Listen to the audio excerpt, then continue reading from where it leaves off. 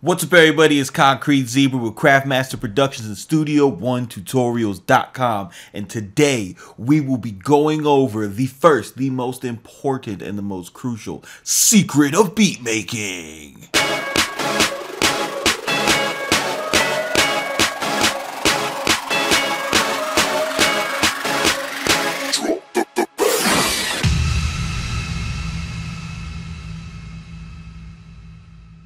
What's up, everybody? It's Concrete Zebra, Craftmaster Productions, Studio One Tutorials.com. Today is the first video, the first step, and the first installment of the secrets of beat making. It's going to be a new tab that I have up on the site. And basically, what this series is going to focus on is just um, really obvious things um, or things that should be obvious that have kind of got lost in this new era that we are with the technology.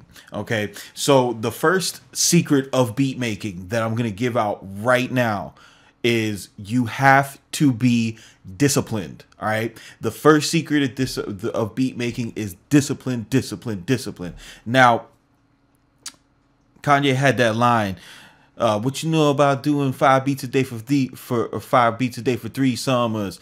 And I remember that used to be a big topic of discussion where you know um, people would be like, "There's no way he did five beats a day for three summers," and where that came from is you know the weirdos who were saying the silly shit like that didn't have no discipline.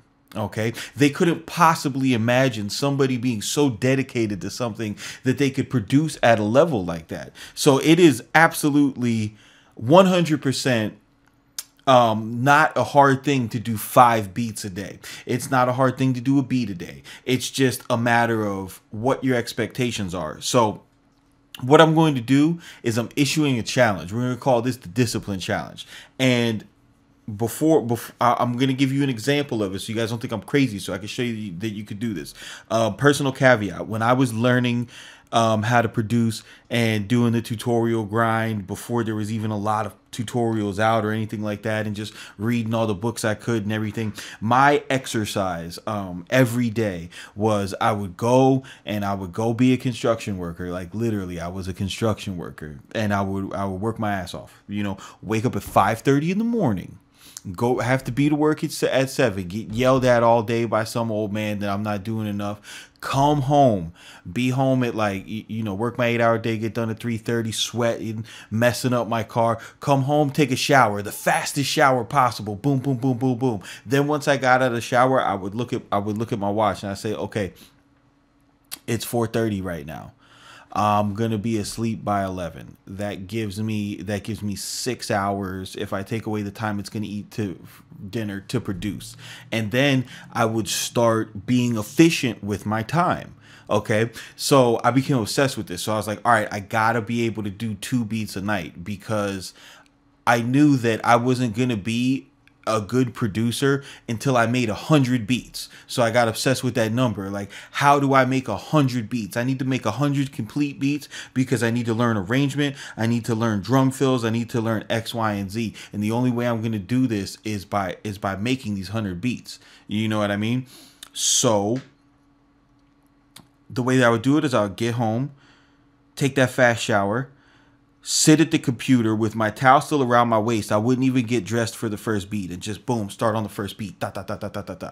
You know, by the time the second beat was done, like I had mostly air dried, or the first beat was done, I mostly air dried, dry myself off, put on clothes. You know, my girl would come home, hey, what are you doing? I'm making beats, leave me alone, blah blah blah. You know, and then start working on the second beat. And I was I was obsessed. Um because that was my discipline.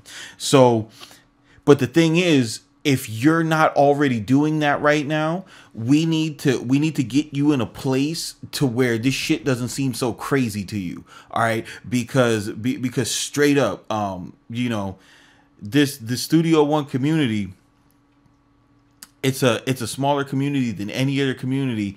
And the only way that you know that that, that we're gonna be able to big ourselves up is just by making the best music you know what i'm saying and showing people the power of this DAW but if you don't got no discipline you can't be a part of that journey with us you know what i'm saying? So it it's it, it's time. This is this is it. Like i'm i'm challenging all of you guys who i'm helping out to turn the fuck up you know what i'm saying? And and let's get busy. So here's the challenge. I want you guys to make one beat a day for five days in a row. And I'm going to tell you the value of this, right?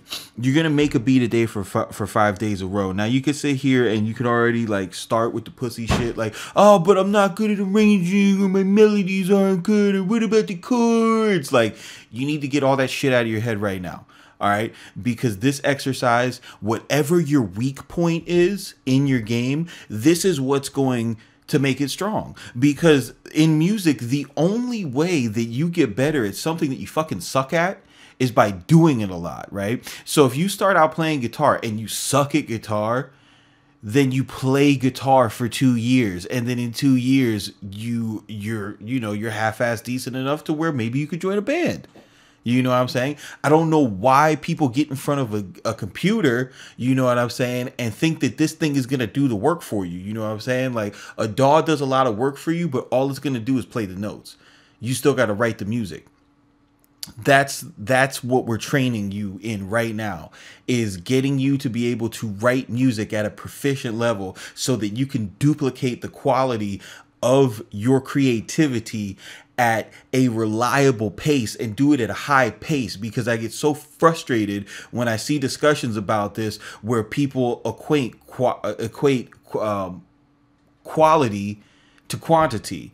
Like you can't have both. You absolutely can have both. It is absolutely possible. So here's what so here's what I want you guys to do. Every day, starting from the day that you hear this tutorial, Put yourself on the clock. For the next five days, you're gonna make a beat. And when I mean a beat, we're gonna be we're gonna be working um, with with one certain format, right?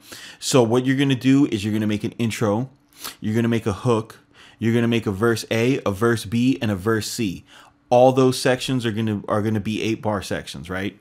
The hook is gonna be repeated, and that's eight bars in in whatever tempo you pick um, in the DAW. My drums are going to be halftime because you know because I do trap. So that's that's what that is. And if you're confused about any of those concepts, go to studio1tutorials.com beginners and just brush up on that before you start this challenge. Now, you again intro, hook, verse A, verse B, and verse C. That's five parts. Okay. If you can if if if you can do that, you can make you can make a song every day. That's all you got to think about. You got to you got to break this down into the smallest possible steps. Now the uh in order to do this you know in order to do this and and to not discourage you i want to simplify it. Just use an 808 pick your favorite drums. Don't fucking change the drum samples every song okay? Let's take the let's take the the kind of the kind of foo-foo art out of it for a second and let's just get down to efficiency and discipline. Pick your favorite pick your favorite hi-hat your favorite snare your favorite kick your favorite 808 and let's use them on five beats you know what i'm saying? Then pick your favorite your favorite plugin whatever is the easiest thing for you to write in. Um, for me nexus arena ambiance. I'm always going to be able to create a melody with with the arena ambiance um patch on. I know that I'm always going to be able to work that. That's fine. The next thing that you're going to want to do is pick a scale, something something that you know. I'm going to use E natural minor. Set this template up, right? And this is going to be your template. And then this is how I want you to work for the five days in for the five days in a row. You're just going to start, okay?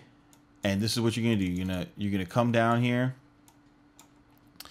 and we're just going to take eighth notes starting on E duplicate them out for a bar.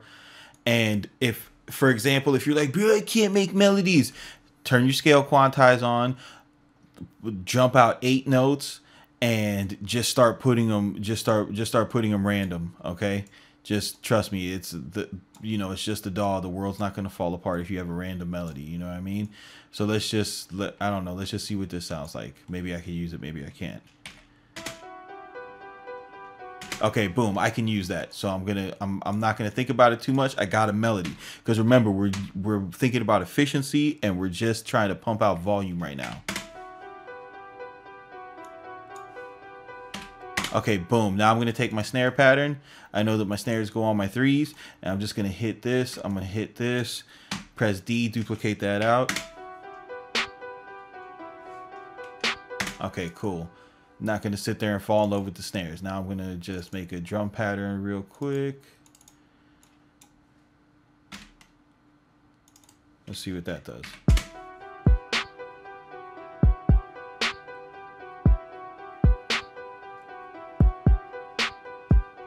All right, cool. Now I'm to take the hi-hat pattern and I'm to just do some eighth notes real quick. Nothing crazy. Okay, cool. Now I'm going to take the kick and I'm going to copy it up to the 808. Set it to the key of E.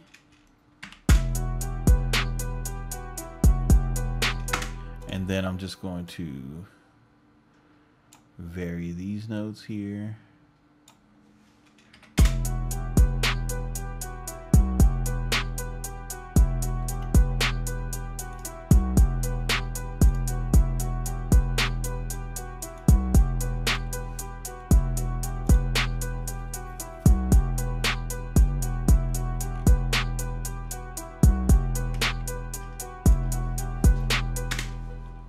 Okay, boom. So if melody, uh, you have trouble with melody, you just take all of the confusion out of it. You put the scale quantize on, you do something random. If it sounds okay, you keep going. You know, you, you're not trying to make the perfect song here.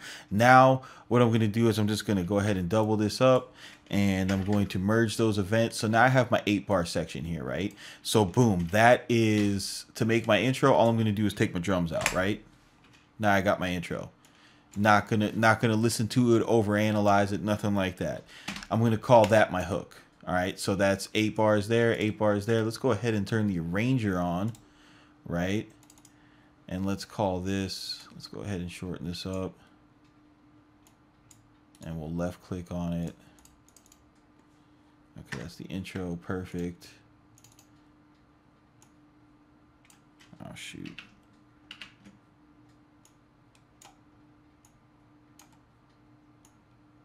Then let's go ahead and do this section. This is obviously the hook. I'll just do this right here. Now we need a verse A, a verse B, and a verse C. And this is really going, this is really, this simple task right here is going to help you step your arrangement game up so much if you're having trouble with that. So, you know, that in order to arrange a good verse, you can't go um you can't go four eight bars without changing it. And if you and if you didn't know that, you know it now. So what we're gonna do is we're going to when we're when we're creating this part and when you're doing this challenge, what what you want to focus on is just making verse A, verse A, verse B, and verse C subtly different from each other. You want to focus on you want to focus on changing energy um, just by just by using the drums okay? And what this is to do is just by using the drums and not having different melodic parts you're to see how easy it is to you know um, how powerful it is rather to use the drums as a tool of creating variation in your music and and and not overcrowding it with a whole bunch of melodies and lead lines and stuff like that. So for verse A, I'm going to take the hi-hats out and I'm going to not use the snare for half of it. Then for for verse B, I'm going to have let's see. I'm going to have a drop for that last bar. And I'm going to I'll bring the hi-hat back in and then I'll have a drop for that last bar. Um, and yeah, we won't get too crazy there. And then for this guy right here, we'll take the hi-hat pattern, right? But what we'll do is we'll time stretch it so that it goes slower. So instead of instead of this pattern, we'll have this one. So we just changed the hi-hats in it, right? Now what we'll go ahead and do is we'll just we'll just go ahead and let's see highlight these. Press D. Highlight these. Press D. Oop. Let's go ahead and drag new ones over. And now without without even thinking about it without even without even proofread without even listening to this shit I have created and arranged a full song. Um, is it a classic hip hop record?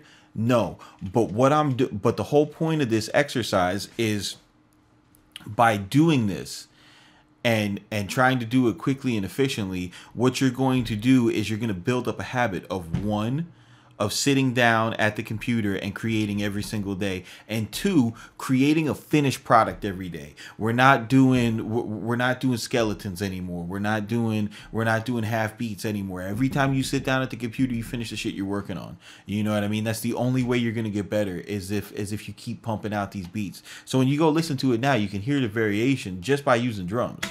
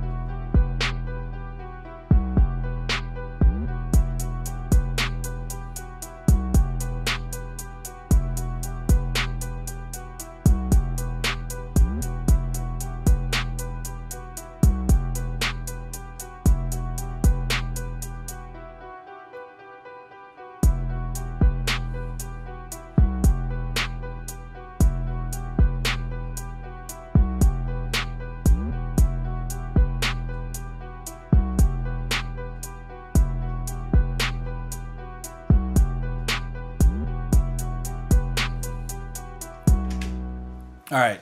So you can see that even though that is a super simplistic, basic ass beat, what you can the the thing that you could pick up is there is there's definitely substantial and noticeable differences in energy.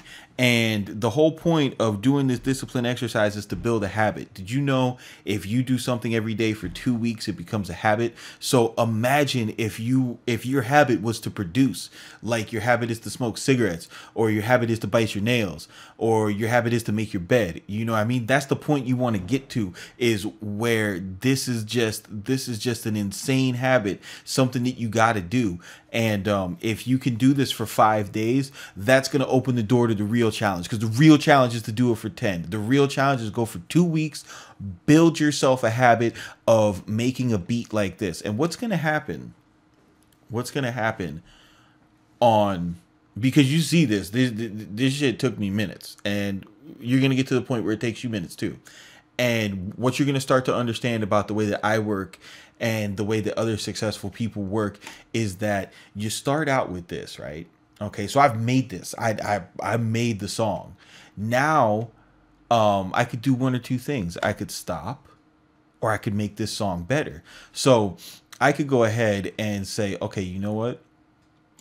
I I think the intro could use could use a little bit more spice. So maybe I'll bounce this down and I'll reverse this piano and um, maybe I'll do maybe I'll do a kick roll into into this section right here. So maybe maybe the intro sound like this.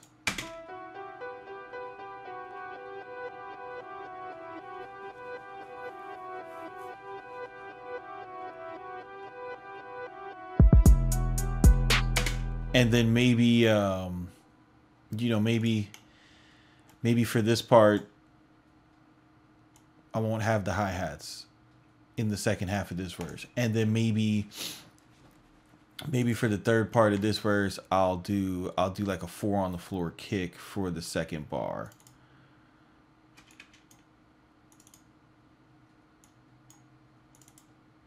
You know, and add add even more variation to the drums.